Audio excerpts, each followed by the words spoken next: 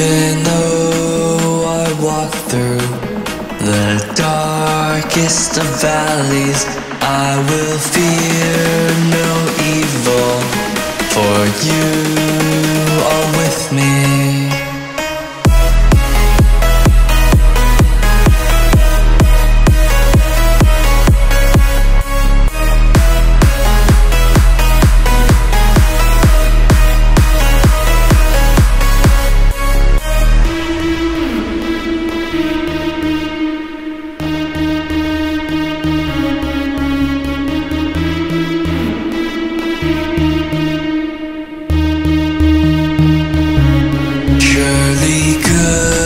Goodness and mercy shall follow me all the days of my life. I shall dwell in the house of the Lord forever.